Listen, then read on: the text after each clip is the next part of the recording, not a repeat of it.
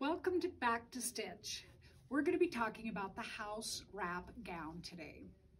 Your kit will include one body, gown body, two sleeves, one waistband, and a thinner strap for the neck bands that will be cut into three pieces. Let's go take a look at how to construct the gown. So general information is we're going to use 3 8 inch seam allowance, polyester thread, a size 12 needle. Your stitch length should be about 10 stitches per inch, as well as uh, approximately 3.0 on several sewing machines. The right side of the fabric is the shiny side. So in step one, you're going to be attaching the sleeve to the body at the armhole cutout area. So you're gonna stitch that down using your 3 8 inch seam allowance. Then, and if you're using pins, please keep your pins within that 3 8 inch seam allowance to keep uh, from perforating the gown. Step two, you'll be sewing your seam sleeve and your shoulder seam to the neck all in one seam.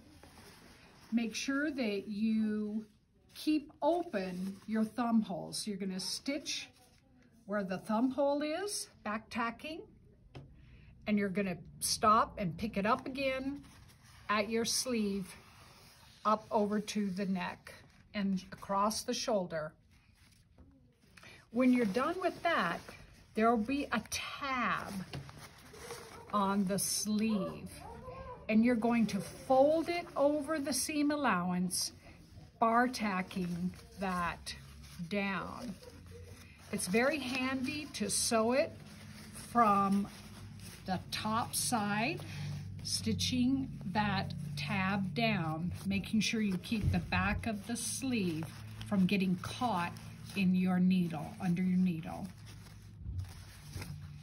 So that will create the sleeve, the shoulder seam, and the thumb hole tab.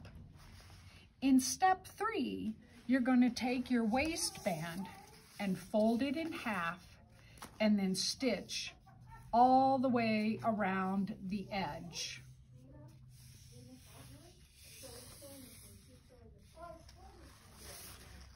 This will help reinforce your waistband. The second step of the waistband is to attach the waistband and there will be a red mark on the waistband. You're going to attach that on the outside of the gown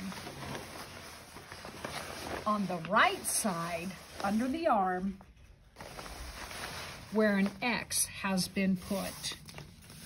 And we're just gonna lay that over the top and stitch it down. Let me show you on the completed gown what that will look like.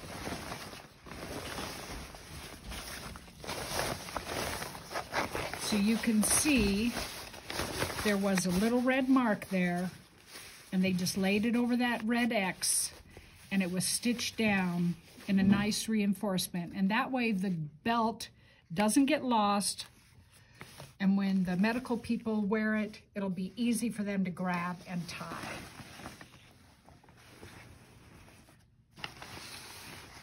When you get ready to do your neckties, you're gonna take your necktie and cut it into three separate lengths. You'll use two for the gown you're working on and reserve one for the gown, the next gown that you create. Take two of your neck piece, tie pieces, fold them in half, right sides together, and stitch them down the length, bar tacking at the ends. Then when you are ready to attach the necktie, in the second section of the necktie, which will also be step four, you're going to place your necktie underneath this tab, fold your tab down, and you're going to tack your necktie to the gown body, reinforcing it with this tab. Let me show you once again on the completed mask how that, on the completed gown, sorry, how that looks. We have our tie attached to the gown and this tab came down and was bar tacked and X tacked. Looks more like an N to help secure it. So that when your gown is complete, then you turn your gown right side out and your sleeve, sleeve and shoulder seams are done, your necktie is completed, your waistband is completed. Thank you.